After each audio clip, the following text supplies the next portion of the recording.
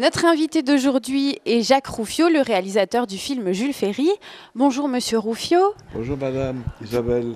Pourquoi avoir fait un film sur Jules Ferry? Je pensais à beaucoup de premières questions insensées, mais cela me paraît quand même dépasser tout en manque d'imagination. Parce que, si je vous réponds parce que, qu'est-ce que vous me direz?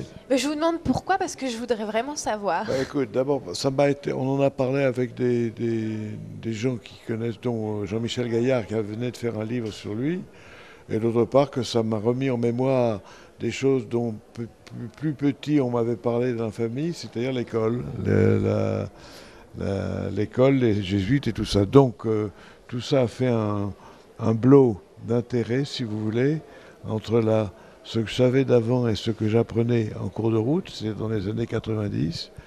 Et on en a, Kirchner a souhaité en faire un film. J'ai dit d'accord, je le fais. Voilà.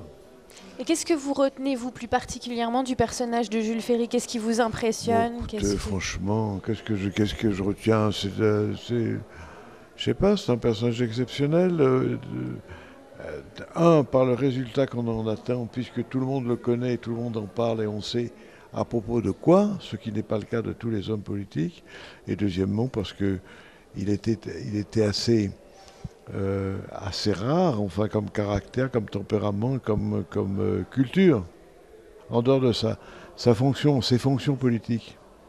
Quel souvenir vous avez gardé de Saint-Dié, puisque vous Bah, étiez venu bon. tourner euh, Sans ça, je serais pas là.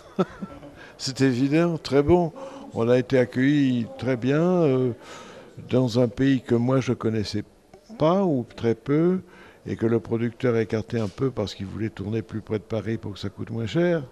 Et moi, je voulais tourner là où, euh, j'allais dire pépère, où Jules avait vécu, avait eu 18 ans, était député et avait passé toute sa jeunesse, voilà.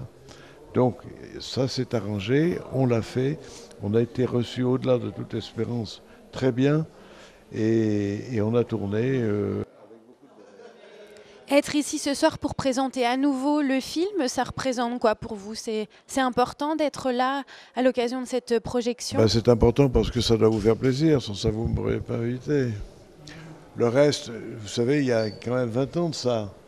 On a fait autre chose, j'ai eu des problèmes, on a fait d'autres films, mais ça, ça, ça reste un souvenir presque plus marqué par ma présence ici, ce qu'on a fait ici, que par, j'allais dire, par le film lui-même, par la, la tenue générale du film. C'est-à-dire que les souvenirs de ces 4 ou 5 ou 6 semaines qu'on a passées ici sont formidables.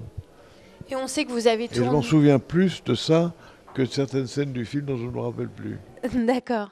On sait tous que vous avez tourné avec des acteurs prestigieux. Est-ce qu'il y en a certains qui vous laissent un, un souvenir particulier dans toute votre carrière? Écoutez, il y en a beaucoup dont je, que je- comme c'est un métier où on roule, on roule, on roule, et puis en plus j'ai eu des, des arrêts depuis 10 ans avec des histoires de médicales, en fait d'opération. Non, il y a un type qui était absolument formidable, été une chance inouïe, c'est euh, Fortino, qui est peu cher, est mort euh, d'un affreux, horrible cancer il y a quelques années, après avoir fait un, avoir fait une tournée pendant un an d'une, d'une- d'un- d'un- un- tout seul en scène d'un, roman, je ne me rappelle plus le nom, de Romain Gary, où il était formidable. Mais là-dedans, il a été magnifique. Il a été magnifique parce que justement, une sensibilité, une, des choses qu'on ne peut pas toujours définir, que comme on voit quand on lit une vie de Jules Ferry, on ne sait pas exactement. Et pourtant, il a toujours été très rigoureux dans sa pensée et en allant jusqu'au bout. Et dans son métier d'acteur, Fortino était un type tout à fait. qui, qui avait ces qualités-là, quoi.